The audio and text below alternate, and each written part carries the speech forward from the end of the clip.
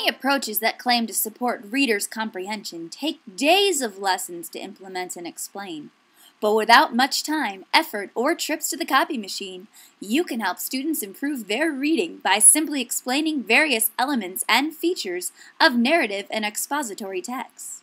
You might be thinking that since students have grown up with stories, there's no need to explain the parts, or that you can't get much more clear cut than a science textbook. But research shows that throwing the spotlight on structural elements of these texts and strategies to use them can work wonders on reading comprehension.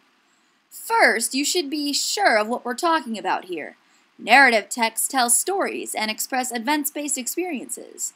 Expository or informational texts communicate facts about the natural or social world. Helping your students understand how to view these texts is simple. When reading narrative texts, good readers use their knowledge of story elements to ask and answer questions monitor story comprehension, predict and preview, connect to world knowledge, construct mental images, and summarize or retell. Thus, recognizing the elements of story structure is a prerequisite to effective use of these reading strategies. In terms of story structure, we're talking about the setting, which includes time and place, the characters, the problems, the action that arises, and finally, the outcome. You could paste a chart like this in students' notebooks so that they can refer to it when you ask them to draw and complete their own chart about the story they're reading. Life hasn't been that simple since Dick and Jane saw Spot run.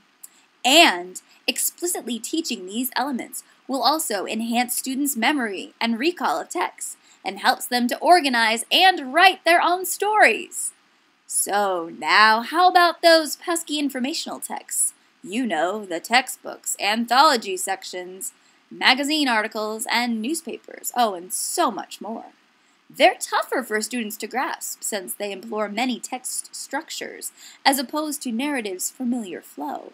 They require more abstract thinking since readers must compare and contrast ideas, recognize complex causality, synthesize information, and evaluate solutions posed for problems. Since your school paid so much for that textbook, you figure that it must be the best way to present information, and that students won't need help learning how to read it. Wrong.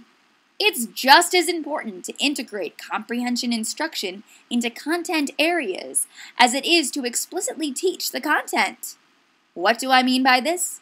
Consider these types of text structures description, compare contrast, cause effect, problem solution and time order or sequence.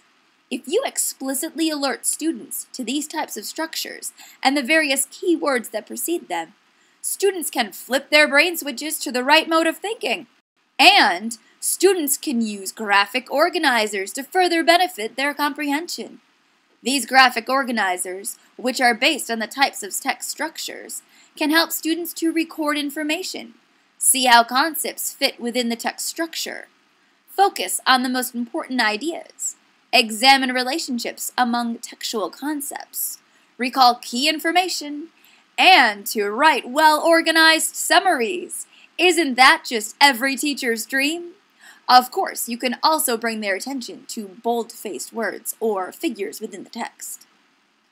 Well, folks, the secret to narrative and expository success can be yours for only three easy payments of $59.95. Think of that tax write off. I suppose, however, that since I've already shared these secrets, there's no reason for you to dial up one of our operators by the end of this advertisement. Still, you might like more information, and in that case, I'd point you to Bill Honig, Linda Diamond, and Linda Gutlohn's second edition of the Teaching Reading Sourcebook. Bill and the Lindas provided most of the information presented to you here, but J. David Cooper and Nancy D. Kiger are also a great resource in the seventh edition of their book, Literacy Helping Students Construct Meaning. Finally, if you're looking for some classroom activities to further foster the comprehension of expository texts, check out The Tea Party and text reformulation activities in When Kids Can't Read by Kylene Beers. It's a staple for every English teacher's shelf. Well, that's all for today. Just remember to explicitly share the features and elements of narrative and expository texts to ensure that your students have the best possible chance at comprehending what they read.